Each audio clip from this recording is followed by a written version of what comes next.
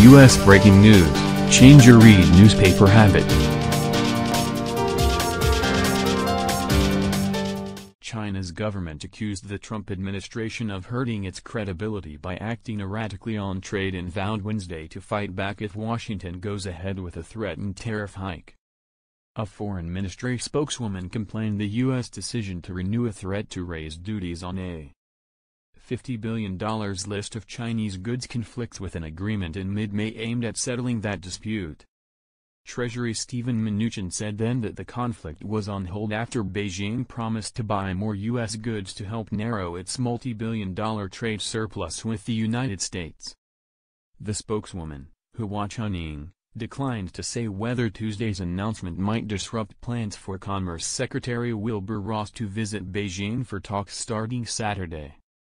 The Commerce Ministry didn't respond to questions about the status of the meeting, but the American embassy said a delegation of trade, agriculture and treasury officials had arrived in the Chinese capital to make preparations.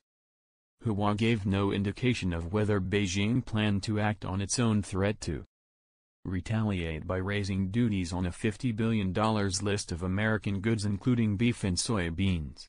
Every flip-flop and U-turn of a country will be simply depleting and squandering its own credibility, Hua said at a regular briefing. We do not want a trade war, but we are not afraid of one. We will fight back, she said. We will definitely take forceful measures to defend our legitimate interests. The White House announcement said it also would impose curbs on Chinese investment and purchases of high-tech exports. Asian financial markets tumbled on renewed worries about a U.S.-Chinese trade spat. China's main market index fell 2.5% and Japan's benchmark lost 1.5%. The White House's latest tariff action focuses on advanced technologies, including those such as robots and electric cars that China has said it wants to develop under its Made in China 2025 program. The White House said a list of products would be announced June 15.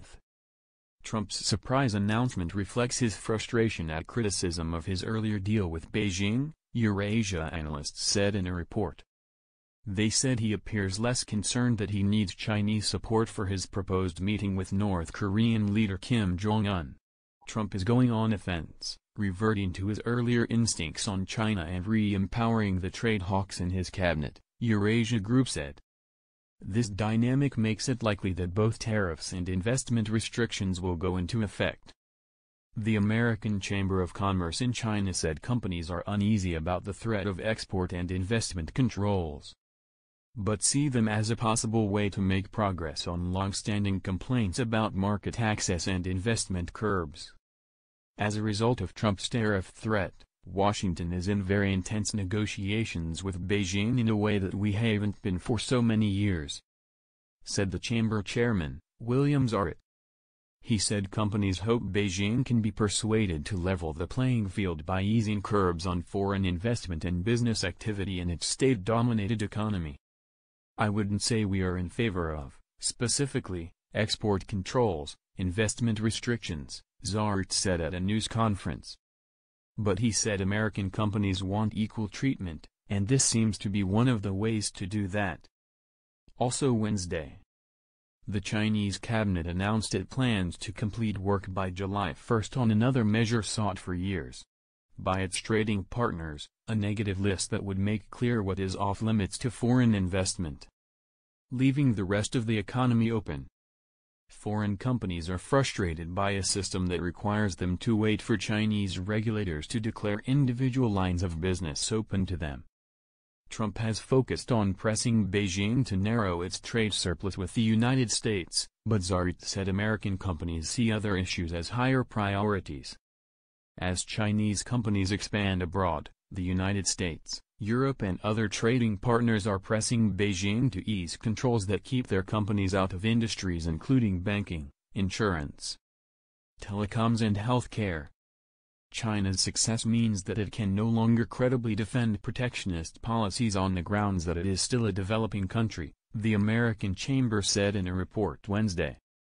The tariff threat is a very powerful negotiating tactic, said Lester Ross, chairman of the American Chamber's Policy Committee. However, he said tariffs are attacks on American consumers and a blunt tool to address very complex problems that hamper trade and investment relationships. Analysts in the United States suggested the newly confrontational stance also might be aimed at appeasing congressional critics.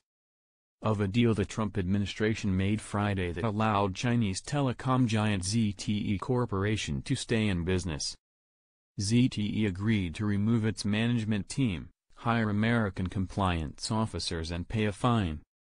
That would be on top of a $1 billion penalty ZTE paid for selling high-tech equipment to North Korea and Iran in violation of U.S. sanctions.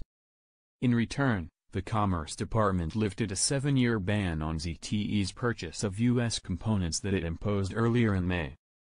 Trump said last month the ban threatened too many Chinese jobs and he wanted to get the company back in business. Chinese leaders have promised piecemeal trade-related changes including allowing full foreign ownership in their auto industry by 2022. However, American companies have major concerns about unfair conditions, and the recent moves haven't done enough to alleviate those concerns, said the American Chamber's Ross. European companies also complain they are blocked from acquiring most assets in China while Chinese companies are on a global buying spree. American Chamber of Commerce in China, www.amchamchina.org